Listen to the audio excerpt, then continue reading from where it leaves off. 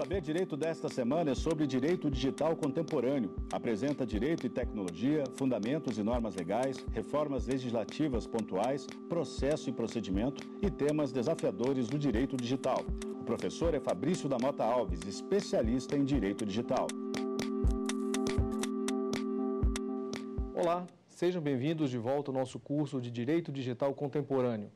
Na primeira aula, falamos sobre a relação entre direito e tecnologia uma relação que a princípio pode não parecer muito evidente, mas que traz bastante preocupação para o aplicador e o operador do direito.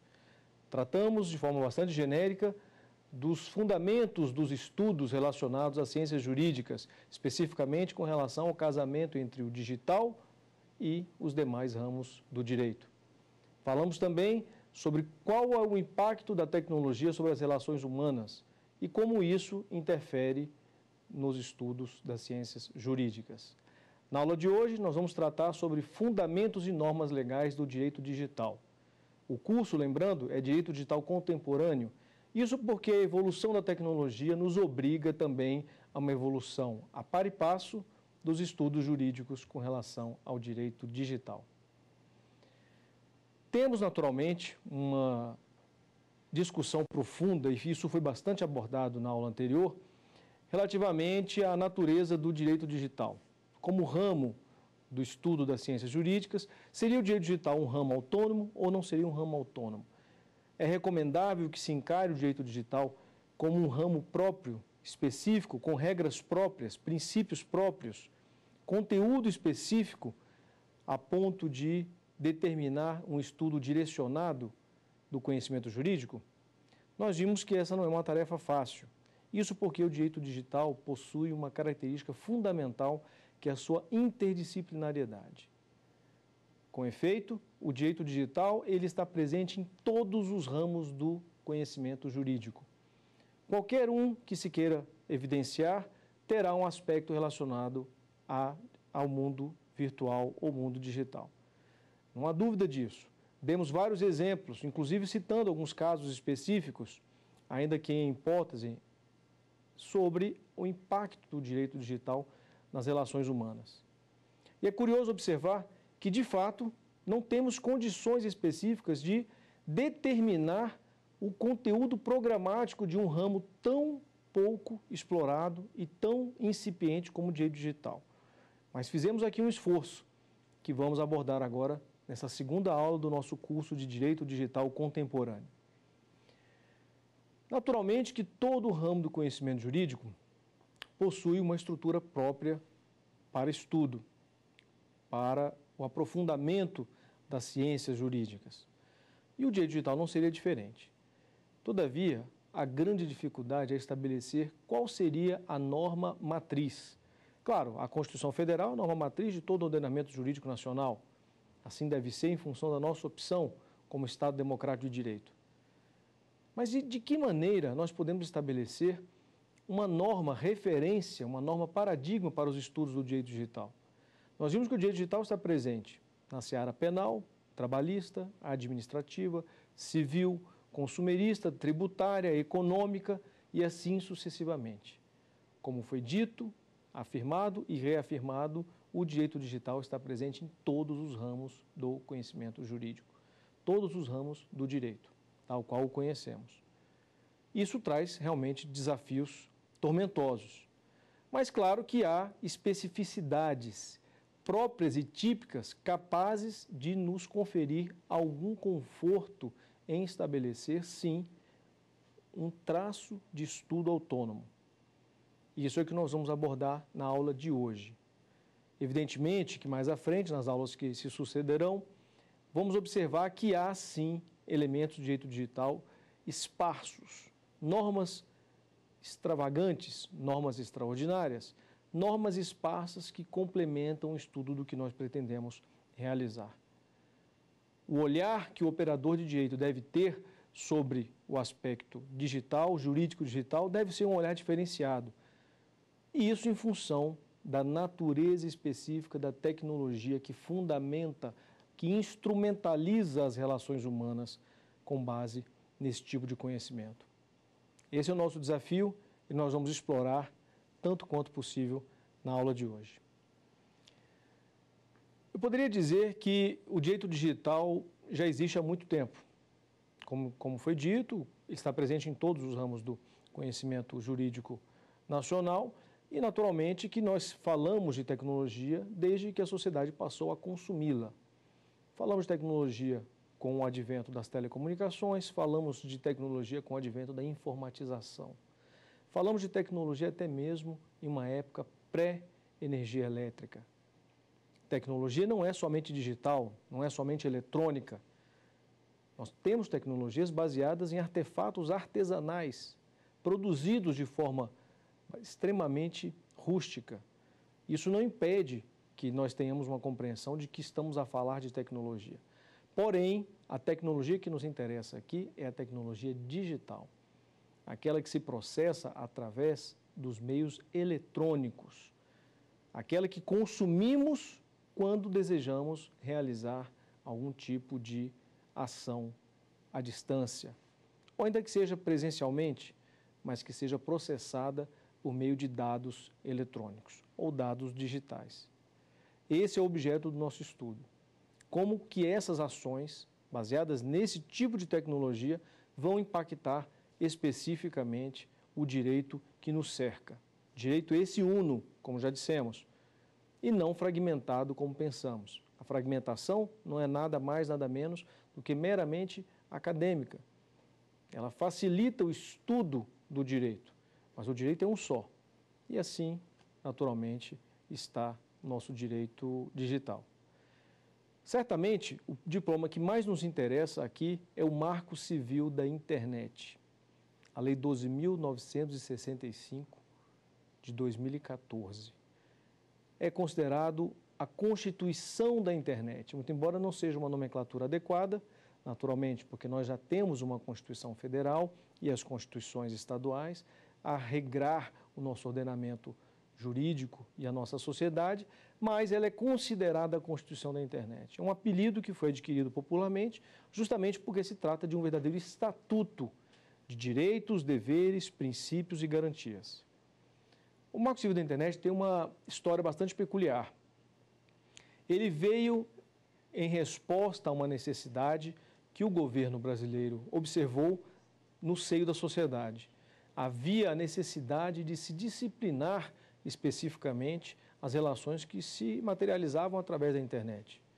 Isso porque, sem o marco regulatório, nós tínhamos, naturalmente, o consumo intenso de tecnologia, intenso de internet, por parte do cidadão e as consequentes litigâncias que surgiam, conflitos que surgiam em função desse consumo. E os tribunais, em função da ausência de um paradigma normativo específico para compreender a internet e disciplinar a internet, simplesmente não conferiam segurança jurídica suficiente. A internet é um serviço provido por empresas essencialmente do setor privado e, como tais, necessitam de paradigmas jurídicos próprios, claros e previsíveis, a ponto de lhes permitir investimento na própria atividade econômica que estão a desempenhar ou que pretendem desempenhar. Havendo insegurança jurídica, seja ela normativa, seja ela jurisprudencial, isso impede que esses atores estejam continuem desejosos de prover o acesso, de prestar o serviço que se pretendem. E foi por essa razão, entre outras tantas, que se discutiu a necessidade da criação de um marco regulatório. Já vimos em cursos anteriores de direito digital de que o marco civil ele é efetivamente o paradigma principal do estudo do direito digital. E a partir dele, vários outros diplomas seguem parâmetros semelhantes, inclusive a sua própria estrutura normativa, os conceitos, os princípios que ele apresenta são também replicados em diversas outras, em diversos outros propósitos legislativos em tramitação no Congresso Nacional. Isso é muito bom, muito positivo, porque se trata efetivamente de uma lei referência. O Marco Civil da Internet brasileiro é uma lei paradigma do mundo inteiro. É considerado o primeiro diploma na sociedade internacional que compreendeu todos os elementos relacionados ao uso da internet. E vejam, vejam que nem assim o nosso marco civil conseguiu ser completo. Há diversos elementos, nós vamos ver ao longo da aula de hoje, que não foram contemplados nas discussões no Congresso Nacional. Elementos esses importantes, mas que, em função de um quadro político, de um cenário político dificultoso da tramitação dessa proposição, não permitiu que ela avançasse. Ainda assim, temos o Marco Civil tal qual foi apresentado e com elementos suficientes para a nossa aplicação jurídica. E é isso que verdadeiramente importa. Podemos citar algumas, alguns elementos fundamentais do Marco Civil. Estamos falando de uma lei singela, bastante curta, enxuta até. Uma lei que contém 32 artigos. Uma lei realmente muito simples, mas que possui elementos fundamentais. O Marco Civil da Internet é dividido em cinco capítulos. Não vamos naturalmente tratar com exaustão de todos os elementos, mas apenas dos principais. Podemos citar, de forma bastante geral, alguns, algumas estruturas, digamos, espinha dorsal do Marco Civil. O Estatuto de Cláusulas e Garantias, que lá está estabelecido, disposições relacionadas ao acesso à internet ao consumo da internet, mais especificamente com relação à neutralidade da rede, elementos relacionados à instrumentalização de procedimentos e processos no âmbito da sociedade brasileira, mais especificamente com relação às obrigações que os provedores de conteúdo de conexão têm com relação à guarda dos dados e registros de conexão e de acesso às aplicações. Elemento fundamental para se compreender, inclusive, a questão do regime específico de responsabilidade civil que o Marco Civil da Internet apresenta. E mais, o Marco Civil da Internet apresenta também disposições excludentes. Infelizmente ou felizmente, para alguns, o Marco Civil não trouxe discussões acerca dos direitos autorais. Optou por deixar essa discussão para um diploma próprio, seja ela a própria Lei de Direitos Autorais ou uma outra norma que venha a suceder ou a reformar. Esse foi um apelo bastante forte realizado no Congresso Nacional em função da dificuldade de se avançar na, no processamento legislativo do Marco Civil. O que é uma pena, porque um dos elementos mais importantes para a caracterização do desenvolvimento nacional está no respeito à propriedade privada. E quando falamos de propriedade intelectual, estamos nos referindo à propriedade privada. A propriedade do conteúdo produzido pela alma do ser humano pela criatividade, pela mente do homem, que é essencialmente o que rege as empresas digitais que usam a internet como meio de prestação dos seus serviços. Vamos começar com as cláusulas e garantias, os princípios e fundamentos do Marco Civil. Logo nos primeiros artigos, no capítulo 1, nós temos a apresentação dessas cláusulas. Podemos observar, ao longo da leitura desse capítulo, que elas reproduzem quase que a literalidade boa parte das garantias e direitos fundamentais que estão elencados na Constituição Federal, especificamente com relação ao indivíduo, com relação à sua intimidade, à sua honra, à sua imagem, à inviolabilidade de bens tão caros e preciosos para o cidadão. Mas não somente isso, um dos elementos fundamentais da discussão do Marco Civil é de proteção à liberdade de expressão. E aí temos um desafio: como conciliar liberdade de expressão com inviolabilidade da honra, da imagem, da intimidade das pessoas? Vivemos, afinal, uma economia digital baseada em reputação. Há quem diga que estamos vivendo uma economia de reputação. Tudo o que fazemos, todos os serviços, praticamente todos os serviços digitais baseados na internet, e são de alguma forma relacionados com um fator de credibilidade.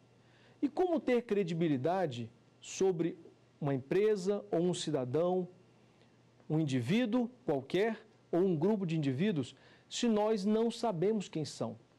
Muito simples, através da reputação que essas pessoas apresentam. Reputação essa construída de forma colaborativa, e aí vem outra nomenclatura desse tipo de economia economia colaborativa ou de consumo colaborativo. Há quem diga também que é a economia do compartilhamento. Isso porque se trata de uma forma de demonstrar de forma a substituir uma autoridade ou um terceiro isento da sua capacidade de promover a fidúcia, a credibilidade necessária para que outro consuma o serviço. Um exemplo concreto: eu vou chamar aqui um veículo, trata-se de um transporte patrocinado por um aplicativo de transportes, e eu preciso saber se eu terei segurança suficiente para entrar naquele veículo.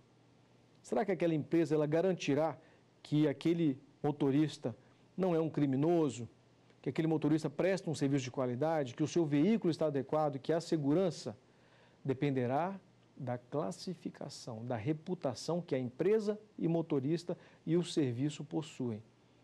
Daí a necessidade de conciliar os elementos de liberdade de expressão com inviolabilidade dos direitos relacionados à honra e à imagem do cidadão. Porque, afinal de contas, uma reputação pode ser atingida por uma má classificação, tanto quanto por uma boa classificação. Isso tudo apresenta desafios tormentosos para o estudo do nosso direito digital. Vamos chamar aqui uma pergunta? Quais são os fundamentos legais do direito digital? Bom, é, os fundamentos legais, naturalmente, que são o objeto de toda a nossa tormenta é, científica é, que estamos aqui a discutir. Naturalmente que o direito digital possui como norma matriz a Constituição Federal, como qualquer outra do ordenamento jurídico nacional. E a Constituição apresenta os elementos que estão relacionados ali, não somente a questão da liberdade de expressão, temos os aspectos relacionados à inviolabilidade de certos bens preciosos ao cidadão, como a intimidade, a vida privada, a sua honra, a sua imagem, o direito de resposta, o direito de ser indenizado pela violação desses, da proteção desses bens. Temos uma série de, outras, de outros elementos, como a liberdade de iniciativa, confere à nossa ordem econômica um aspecto de estímulo às invenções humanas relacionadas à atividade laboral, atividade econômica, ao exercício de profissões. Essa norma é a norma matriz. Porém, não podemos dizer ainda que a nossa Constituição é uma Constituição digital. Não, ela permite uma vida digital, ela permite que a sociedade seja uma sociedade informacional. Ela tem os elementos para isso. Os negócios jurídicos, as relações pessoais são materializadas por meio dessa permissividade e das garantias que estão ali elencadas. Mas não é suficiente para se afirmar que nós temos uma Constituição preparada propriamente para o ambiente digital. Ainda assim, temos condições, sim, de estabelecer um marco regulatório. E esse é o fundamento. O marco regulatório é a principal lei que disciplina o direito digital. Não é a única, mas é a principal. Vamos ver ao longo do curso que, além do marco regulatório, existem diversas outras normas pontuais, leis extravagantes, leis esparsas, normas esparsas, que permitem o estudo do direito digital. Então, respondendo objetivamente à pergunta, os fundamentos do direito, do direito digital, seguramente a Constituição Federal e, mais propriamente, ou melhor, mais principalmente, o Marco Civil da Internet. Retomando aqui os nossos estudos sobre esse diploma, que é considerado a Constituição da Internet, nós falamos há pouco dos elementos principais que são elencados no primeiro capítulo.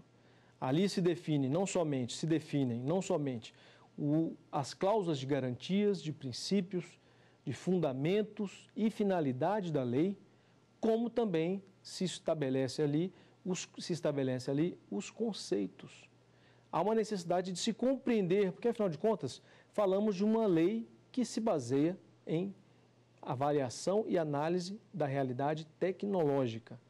E se não houver uma compreensão dos atores que permitem que essa tecnologia seja utilizada pelo cidadão, seja instrumentalizada, nós não vamos conseguir aplicar corretamente o direito. E esse é o desafio.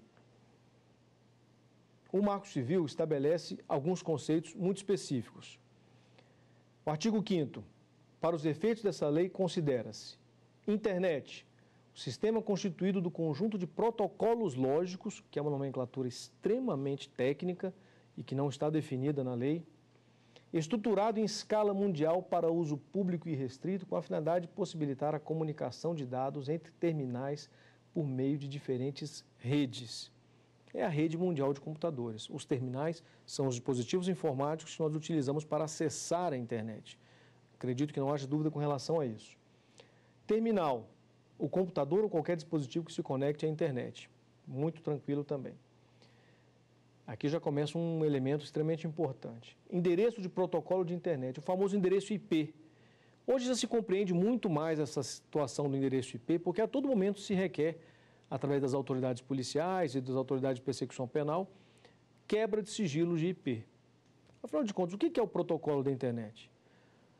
Nós temos que entender que a internet surgiu a partir da, do processamento de dados entre terminais informatizados. Esses terminais, a estrutura, a arquitetura da rede computacional que gera esse sistema, ela se baseou em algumas lógicas. Uma delas foi a necessidade de endereçamento de cada elemento componente dessa rede. Cada elemento tem que ter um endereço específico. Para quê? Para se comunicar com outro elemento da rede. Então, se eu tenho um computador conectado a uma rede como a internet, e esse mesmo computador está conectado a uma impressora ou conectado a um teclado sem fio, ou conectado a qualquer outro elemento, cada dispositivo desse deverá possuir o um endereço nessa rede. Naturalmente que existe uma estruturação bastante complexa entre a rede interna e a rede externa. A rede que não tem acesso direto à internet, mas um acesso sobreposto, ou a rede que tem acesso direto à internet, aos dispositivos que têm acesso direto à internet. Isso não vem ao caso, não é objeto do nosso estudo, mas sim a compreensão desse sistema. E os protocolos de internet são justamente a linguagem ou as linguagens que foram estabelecidas para que eles se comuniquem. Existem diversos níveis de linguagem, existem protocolos específicos com relação a processamento de dados de arquivos, protocolos específicos com relação a processamento de dados de navegação direta na internet e assim sucessivamente. Mas, antes de tudo, cada dispositivo é registrado com um certo endereço. Esse endereço é exatamente o que nós estamos falando aqui. O código atribuído a um terminal de uma rede para permitir sua identificação definido segundo parâmetros internacionais. Essa é a conceituação que o legislador apresentou. Temos, naturalmente, vários outros elementos, mas eu vou destacar apenas o inciso 7 desse mesmo artigo 5 do Marco Civil, é o que define aplicações de internet. O conjunto de funcionalidades que podem ser acessadas por meio de um terminal conectado à internet. Vejam que não é um conceito que conceitua propriamente dito, infelizmente, porque funcionalidades não têm definição na lei. Mas, de um modo geral, a gente pode compreender como sendo a estrutura lógica, como sendo o exercício das atividades é, efetivamente realizados através de programas, de aplicações, por isso que, ela de, que se define através, através da aplicação de internet, de software. Trata-se do sistema lógico da rede, não do sistema físico da rede, não dos dispositivos. Daí, a partir desse conceito de aplicações, que são funcionalidades, ou softwares, ou programas, ou simplesmente atividades lógicas que esses elementos realizam, nós temos o conceito de provedores de aplicação da internet, que foi uma opção que o nosso Marco Civil apresentou. São as empresas que provêm o conteúdo ou serviços digitais. Elas se contrapõem pela definição do Marco Civil e não pela definição da lógica específica da ciência da computação, mas elas se contrapõem aos provedores de conexão. E o que é conexão à internet? Que é definido aqui pelo pelo Marco Civil. É a habilitação de um terminal para envio e recebimento de pacotes de dados pela internet mediante atribuição ou autenticação de um endereço IP, que nós falamos agora há pouco. Desses elementos, nós temos os registros, registros de conexão à internet e registros de aplicações da internet. Claro, estamos falando de acesso às aplicações. Cada vez que você pega o seu telefone celular ou o seu computador e você determina que um aplicativo rode ou se execute, esse aplicativo ele deverá, pelas, pelos termos que nós vamos ver adiante, registrar o acesso que você proveu com relação àquele elemento. Se eu entrei no aplicativo, por exemplo, de roteamento, de definição de rota de GPS para o meu veículo, assim que eu abro aquele aplicativo, que eu pego meu celular e abro aquele aplicativo, eu promovo um registro nessa rede computacional realizada através do celular e da, dos servidores que fomentam esse acesso à internet, eu realizo um registro. Professor Fabrício acessou o aplicativo X na data tal, do dia, da, do horário tal e por tanto tempo. Esse registro se compõe de um log de informações. Ele passa a fazer parte de um log, um bloco de anotações de registros do acesso. E não somente isso, se eu acessei a internet, efetivamente, que eu posso até eventualmente abrir o aplicativo e não ter conexão à internet. Mas se eu tenho conexão à internet, eu também fiz um registro de conexão à internet. Esses registros devem ser compatíveis entre si, porque o aplicativo foi acessado e a partir dele eu acessei a internet. E utilizei alguma funcionalidade que ele me desejava apresentar, como no caso que eu mencionei, um aplicativo de roteamento de veículo, definição de rotas. Eu quero simplesmente saber como deslocar de um ponto até outro ponto. Esse aplicativo promove esse serviço e registra cada acesso que eu tive, tanto a si mesmo como à internet também. Esse elemento é fundamental. Mais à frente nós vamos entender por que, que temos que ter a compreensão desses registros. Saibam todos que tudo o que fazemos através da internet deixa um rastro. E somente aqueles com muito conhecimento tecnológico têm condição de apagar ou maquiar esse rastro. Vamos ver mais à frente a importância dessas informações. O capítulo seguinte é um capítulo que continua apresentando os direitos específicos dos usuários, mas tem um elemento que eu gostaria de destacar, que é a necessidade de se observar a coleta de dados pessoais.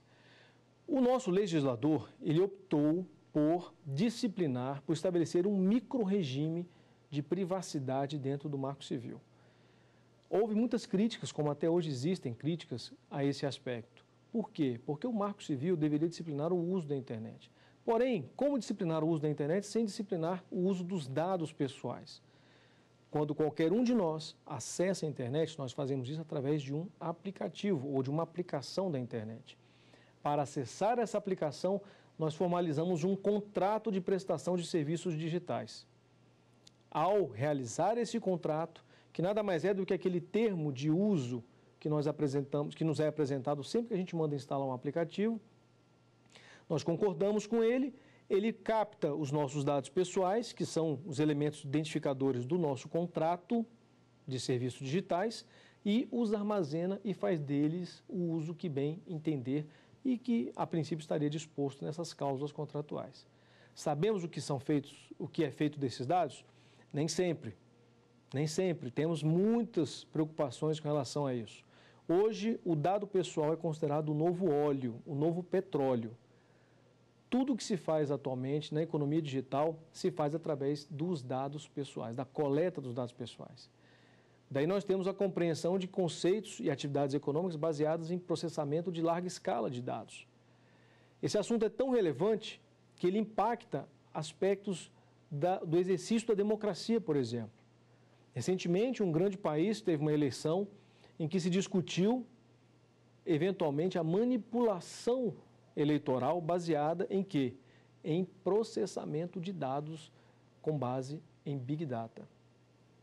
Isso é extremamente perigoso, porque tudo o que nós fazemos, de alguma forma, estamos hoje, em função do nosso consumo exacerbado de tecnologia, permitindo que as empresas captem os dados, os nossos, os, não somente os nossos dados de identificação, mas outros dados pessoais que também contribuem para nos permitir estar visíveis a esses elementos, a esses, esses indivíduos, que são os nossos hábitos.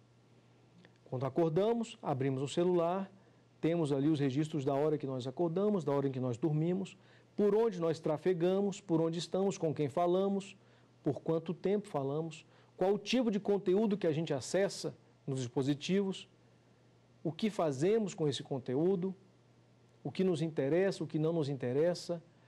em pouquíssimo tempo nós teremos condições, nós que eu digo as empresas, o setor privado, terá condições de antever os nossos passos futuros, tal o nosso, a nossa característica humana de habitualidade. O ser humano precisa de hábitos para viver. E esses hábitos estão sendo catalogados. Por essa razão que existe um marco regulatório de dados pessoais sendo discutido no Congresso. E também por essa razão que houve críticas à inserção desses elementos no Marco Civil. O Marco Civil, nesse artigo 7 ele estabelece exatamente são assegurados aos usuários os seguintes direitos. Inciso 8 informações claras e completas sobre coleta, uso, armazenamento, tratamento, proteção de seus dados pessoais, que somente poderão ser utilizados para finalidades que justifiquem sua coleta, não sejam vedadas pela legislação e estejam especificadas nos contratos. Além disso, o marco também estabelece que para o uso dos dados e a coleta é necessário consentimento expresso do usuário. Eu preciso consentir para a empresa poder ter acesso aos meus dados. E uma vez desejoso de revogar esse consentimento, eu tenho direito também. O Marco Civil estabelece como garantia do uso da internet no Brasil a exclusão definitiva dos dados pessoais que uma vez eu tenha consentido, cujo acesso uma vez eu tenha consentido com a empresa. São elementos extremamente complexos de se lidar. É um micro-regime de privacidade inserido dentro do Marco Civil, que foi inclusive regulamentado pelo decreto regulamentador do Marco Civil. Houve também essa preocupação igualmente criticada no regulamento. E justamente porque o decreto 8771, que regulamenta o Marco Civil, estabeleceu inclusive as definições normativas do que seriam esses dados. E isso trouxe e continuará trazendo um debate bastante acalorado na doutrina e na jurisprudência. Porque, afinal de contas, pode um decreto, norma infralegal, definir um elemento tão sensível ao cidadão, algo que somente poderia ou deveria estar presente em uma lei em sentido estrito, há questionamentos com relação à constitucionalidade desse decreto. Não há, porém, nenhuma impugnação no âmbito do controle de constitucionalidade no Supremo Tribunal Federal. Então, não temos aí um elemento mais objetivo para tratar. O terceiro capítulo do Marco Civil, ele traz também uma disciplina importante. Neutralidade da rede.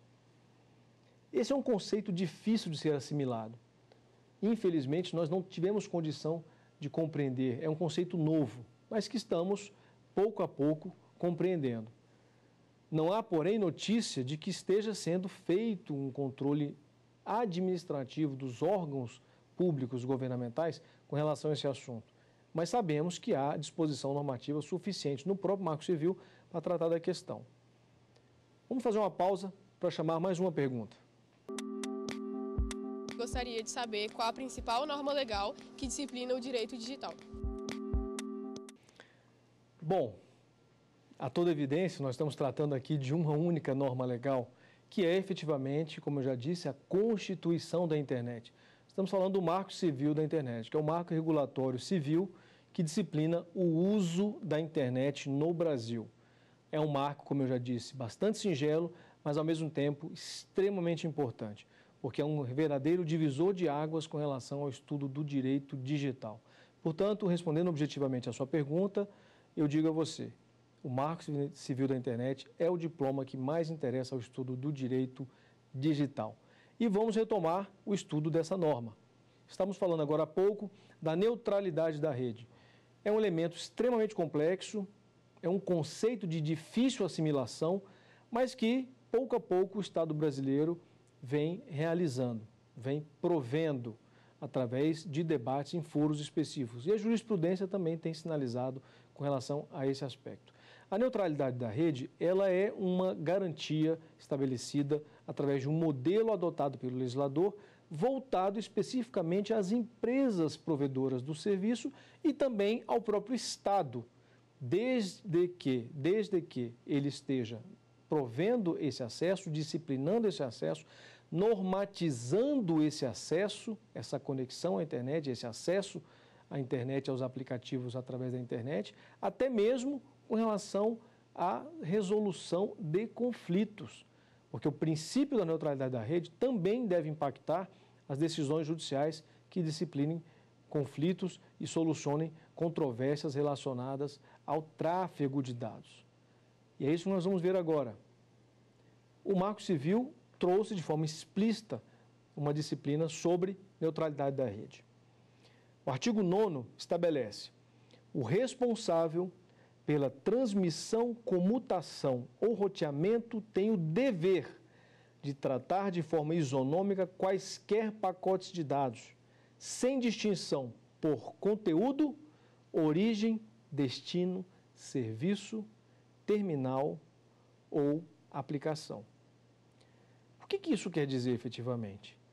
Significa que alguma empresa ou alguém dentro de um sistema empresarial que tenha responsabilidade sobre efetivamente a provisão da conexão e das aplicações de internet, ela deverá observar que ela não pode discriminar conteúdo, não pode providenciar uma discriminação entre os dados que trafegam através dos terminais conectados à internet para fins de usufruto do cidadão, do internauta.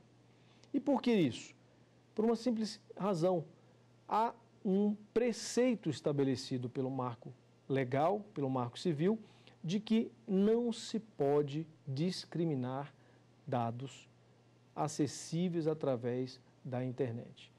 Se eu, cidadão, tenho interesse em assistir a um vídeo através da internet, ou se eu, cidadão, tenho interesse em ler notícias através da internet, ou me relacionar, me comunicar com alguém, não pode haver um diferenciamento nos dados que permitem essas atividades, esses serviços digitais. Se houver essa discriminação, ela será ilegal.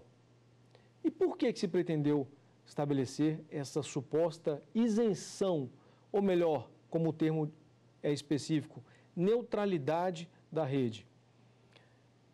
Havia e ainda há uma preocupação muito grande com relação ao impacto do acesso à internet nas relações humanas, especialmente o impacto econômico e político. Hoje nós sabemos, nós cidadãos brasileiros, sabemos que política se faz através da internet.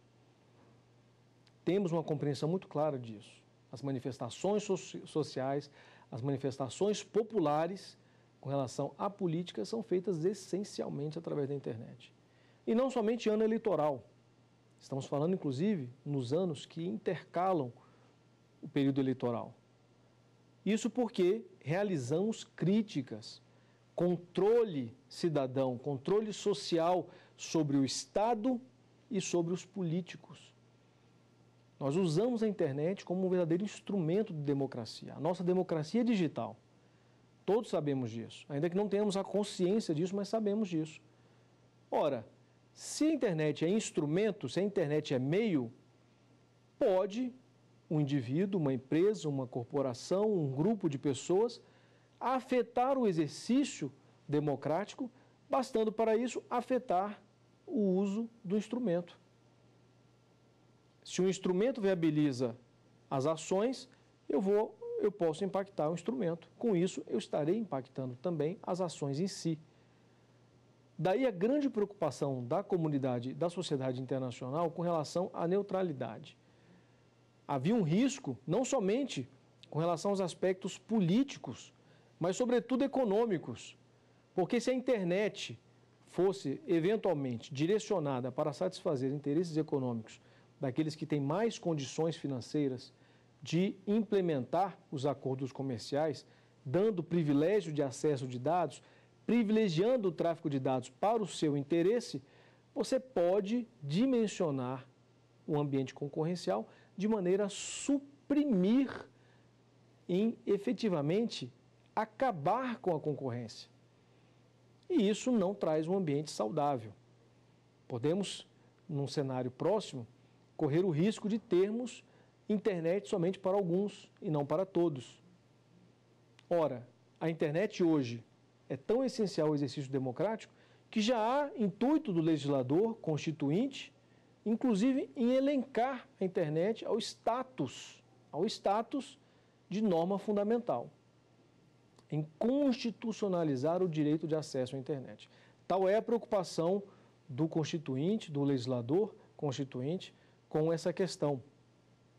Ainda que, não, que se caiba algum tipo de crítica ao modelo que está sendo apresentado no Congresso, mas ainda assim é de se notar a relevância da motivação e a compreensão específica que o Constituinte está tendo com relação à internet e à importância da internet para a sociedade. Seguimos aqui na discussão sobre neutralidade da rede. Há situações em que é possível sim ferir essa neutralidade, porque a nossa neutralidade não é neutralidade absoluta. Ela não trata de forma absolutamente objetiva, em mesmo nível de igualdade, todos os tipos de tráfego de dados. Isso ficou muito claro com as exceções que foram apresentadas pelo Marco Civil. O próprio artigo 9 no parágrafo 1 ele estabelece a impossibilidade de discriminação, mas ao mesmo tempo autoriza que somente poderá ocorrer em duas situações.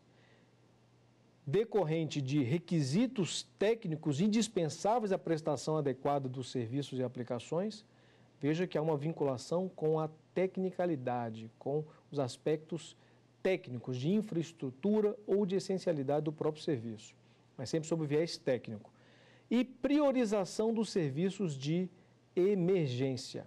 Ainda assim, com relação aos requisitos técnicos, a própria lei estabelece que o responsável pela transmissão do pela transmissão, comutação ou roteamento dos dados através da conexão que se realiza pela internet, esse, esse responsável deverá abster-se de causar dano, ainda que haja justificativa técnica para ferir, ou melhor, para contornar a neutralidade, ele não pode abster-se de causar dano aos usuários, agir com proporcionalidade, transparência e isonomia e informar previamente, de modo transparente, claro e suficientemente descritivo, aos seus usuários sobre as práticas de gerenciamento e mitigação de tráfego adotadas. E, por fim, deve também o responsável informar previamente, perdão, oferecer serviços em condições comerciais não discriminatórias e abster-se de praticar condutas anticoncorrenciais. Esse é um ponto bastante interessante. O, inciso 4 do parágrafo 2 do artigo 9 do Marco Civil, ele apresenta um elemento muito peculiar. Pode-se ferir a neutralidade desde que não haja oferta de serviços em condições comerciais discriminatórias e desde que não haja fomento à prática ou conduta anticoncorrencial.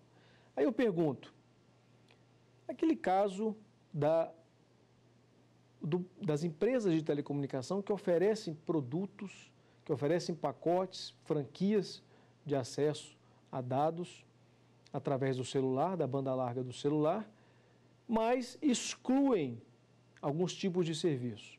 Por exemplo, eu fecho uma franquia específica de dados mas não computa para fins de consumo dessa franquia o acesso de determinadas aplicações. Um aplicativo de mensagens, um aplicativo de rede social. Isso fere ou não fere o marco civil da internet, segundo o que está sendo estabelecido como diretriz de exceção da neutralidade? Há quem entenda que sim, que fere, fere violentamente o marco civil, frontalmente o marco civil.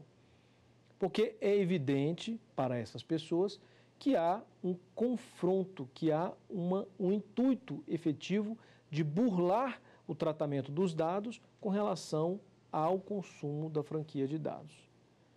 Ora, isso estimula, isso estimularia que somente algumas empresas tivessem condições comerciais favoráveis para se inserir no mercado brasileiro na medida em que um grande parceiro com grande domínio econômico, como uma empresa de telecomunicação, um operador de telecomunicação, possa, através de arranjos comerciais, oferecer seus serviços e, de brinde, permitir que os seus usuários, seus milhões de usuários, possam trafegar neste aplicativo especificamente, sem se preocupar com o consumo da franquia de dados.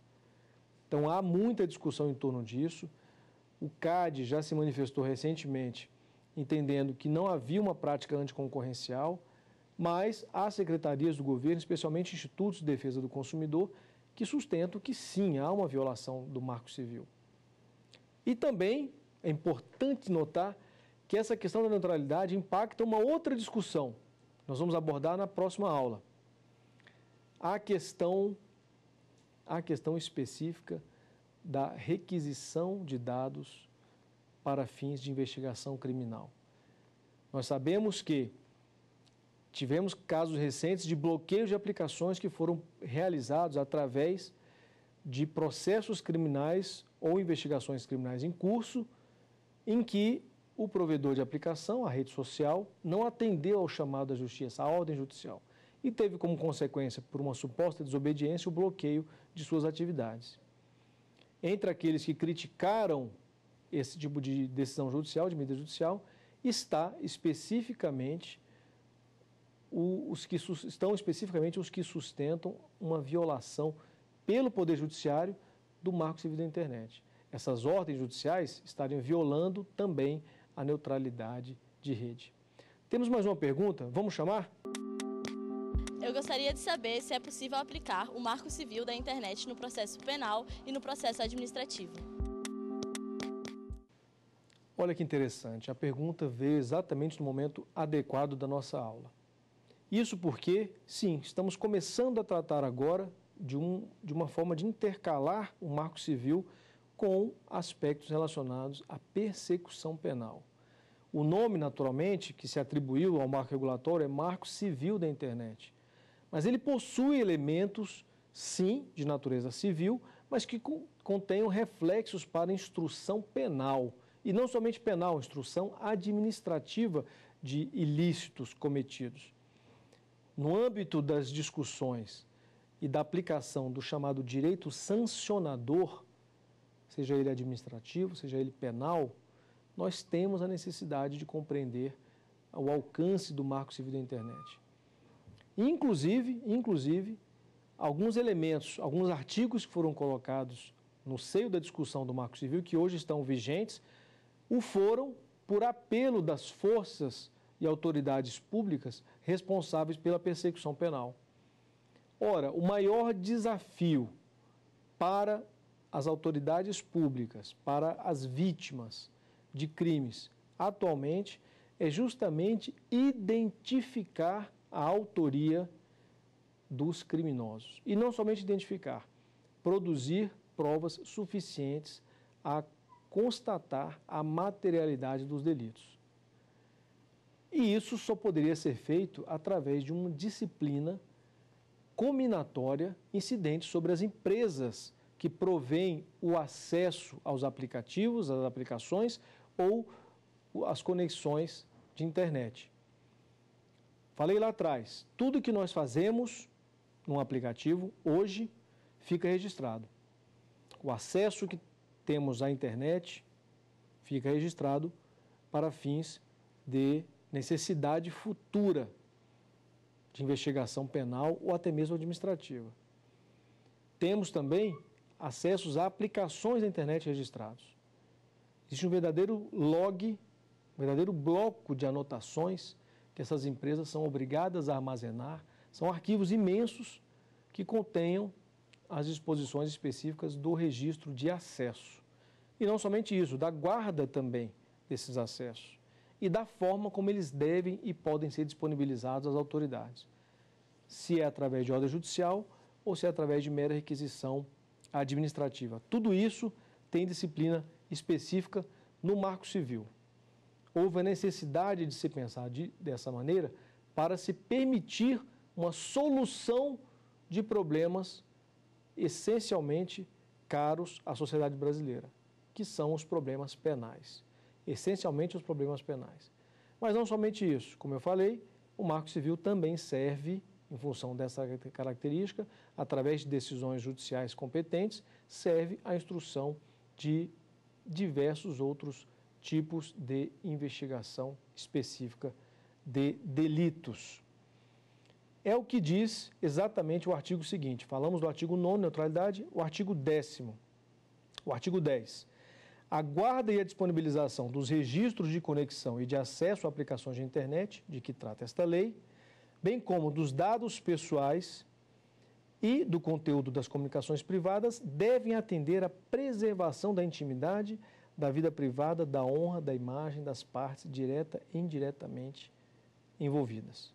Parágrafo 1. O provedor responsável pela guarda somente será obrigado a disponibilizar os registros mencionados no CAPT, de forma autônoma ou associados a dados pessoais, ou a outras informações que possam contribuir para a identificação do usuário ou do terminal, mediante ordem judicial, na forma do disposto na seção 4, respeitado os direitos estabelecidos no artigo 7 e assim sucessivamente. As disposições estão todas muito bem definidas nos capítulos, neste capítulo, nas seções e subseções seguintes. O artigo 13, por exemplo, trata da guarda dos registros de conexão. Na provisão de conexão à internet, cabe ao administrador do sistema o dever de manter os registros sob sigilo, em ambiente controlado e seguro, pelo prazo de um ano. Já o artigo seguinte fala das, da guarda de registros de aplicações, estabelece o mesmo dever voltado aos, aos provedores de aplicações, porém com obrigação de reter os, guardos, do, reter os dados e guardá-los pelo prazo de seis meses. Claro que esse, esses prazos são renováveis a interesse das autoridades públicas, mas essencialmente há necessidade de guarda, necessidade não, dever legal de guarda. E todos podemos ter acesso a isso através da judicialização dos conflitos. Naturalmente que é um desafio, justamente porque temos não somente discussões em torno do dever de guarda dos dados de acesso, como também dos conteúdos. E isso o Marco Civil não disciplina de forma específica nem evidente. Não há dever de guarda de conteúdo, há, porém, dever de guarda dos registros de acesso e de conexão. Outro elemento, para finalizar, e permitir o fecho dessa aula. Temos que ter em mente que se eventualmente o conteúdo de uma aplicação, de um, um dado realizado através do, do usuário, dentro do ambiente dessa aplicação, se esse conteúdo faz parte da lógica do serviço de ser armazenado como um e-mail, por exemplo, naturalmente que as autoridades terão acesso, independentemente do dever legal de armazenar ou não. Trata-se de um dever com subsídio contratual e, portanto, e, portanto, legal sob o prisma do Código Civil e do Código de Consumidor. Bom, estamos aqui finalizando a nossa aula. Claro que o Marco Civil da Internet é um diploma que, a despeito de ser pequeno, ele é extremamente importante e há diversas outras determinações que merecem um estudo específico aqui no nosso curso de Direito Digital Contemporâneo. Vamos seguir em frente com as próximas aulas e abordar esses elementos na parte específica da instrumentalização dos processos judiciais. Obrigado por sua audiência. Até a próxima. Ficou com dúvidas? Então mande um e-mail para saberdireito.stf.jus.br. E você também pode estudar pela internet. Basta acessar o site tvjustiça.jus.br.